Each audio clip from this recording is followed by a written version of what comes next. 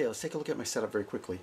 I have a single light stand with a uh, four flash adapter on it. Three of them are already there, they're active. The first one is an SB900.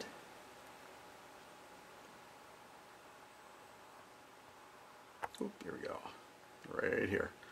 So, easy to tell. It's definitely an SB900. Right next to it, SB800 and just for giggles you have the SB600 sitting right beside it. Uh, those three speed lights are sitting on top of uh, Flex TT5 Pocket Wizard, the receivers if you will, transceivers, and uh, the SB900 is set for group A.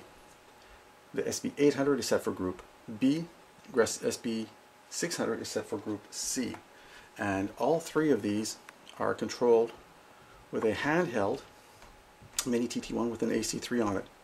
So if you pay attention and watch down here, you're going to see when I activate each group individually. Now with all groups turned off, nothing happens.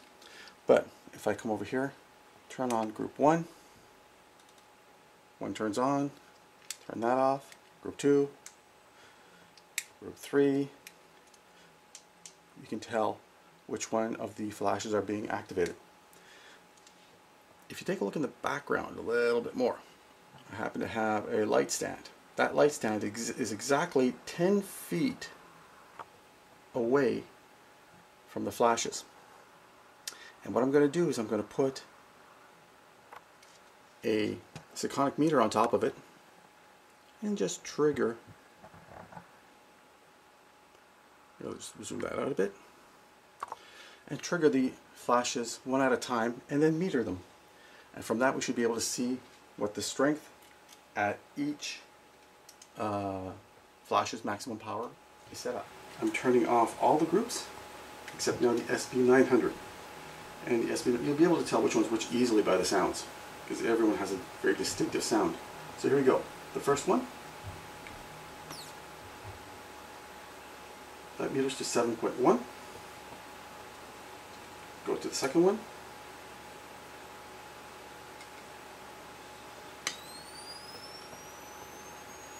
8.0. And the third one.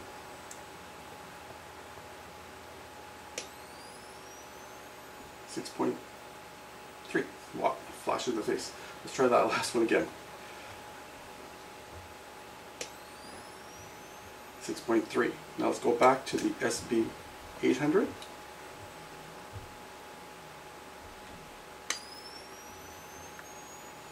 8.0 and back to the SB900. Whoops, here we go. 7.1. So, depending on, let's try that one more time. 8.0. So uh, being really careful, I can sort of fudge with the numbers a bit, but when you're at your maximums, the SB800 and the SB900 are, are identical. Let's go and do a little back and forth between those two again. So, going back to the SB 900.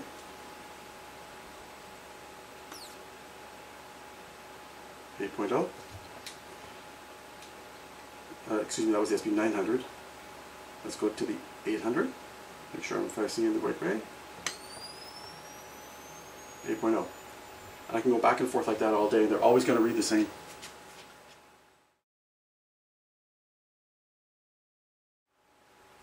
Meter in the, in the appropriate position. We'll start off with the SB900.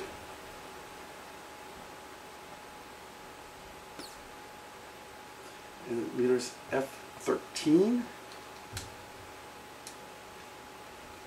Now the SB800.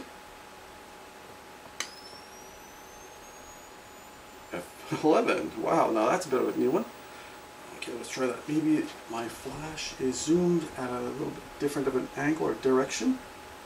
That might be causing that, because now it's really focused the beam, right? There we go, F13. It's just really, really sensitive, right? Because now we're zoomed in really tight. If I fuddle with it a little bit longer, I'll find that sweet spot and I'll get a little F13.1 or something like that. Here we go for the SB600.